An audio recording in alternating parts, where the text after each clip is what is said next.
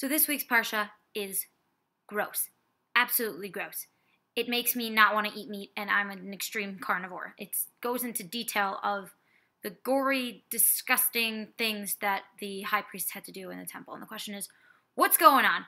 We just learned all these lessons about dressing nice, dressing the part, wearing these beautiful things, this beautiful temple, and then I learned that they're full of blood. They look like butchers in these beautiful white linen garments. So, what's the deal?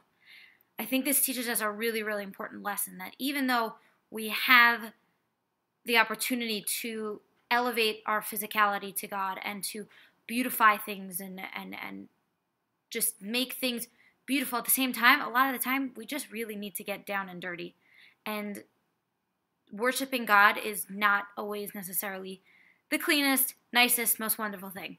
Uh, may remember that and roll up our sleeves and get down and dirty.